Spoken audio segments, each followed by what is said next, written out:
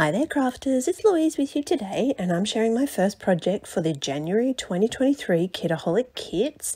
Now this month and hopefully for the rest of this year I'm trying to include some stash items with my kits. So you know as the years go on us scrappers we tend to collect a few bits and pieces all over the place. So I want to actually start to use up some of my stash. It's uh, easy to collect a whole lot of stuff and sometimes a bit bit difficult to actually use that stuff. So what I'm including with this month's kit is actually my distress crayons.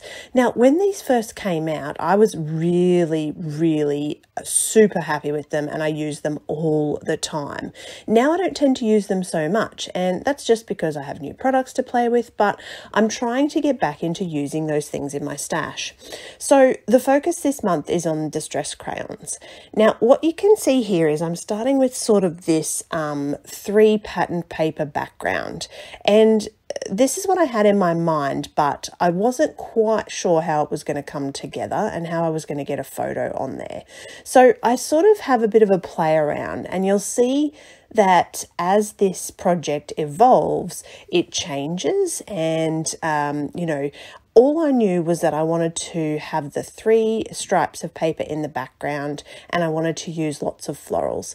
Florals for me can be a bit of a challenge because I do mostly scrap my boys and there's nothing to say you can't use uh, florals on a boy layout, but um, you know it's not something I sort of do a lot of and so I had this photo from a recent race day and I thought that the colors in the photo um, would actually match really well with the pattern papers and the floral elements as well. So you can see that in the background I have actually changed um, that um, uh, pattern paper. So the black was just way too harsh. It was just sticking out um, and, and it wasn't working for me. So I had to do something to actually get that to um, fit a little bit better with how this layout was evolving.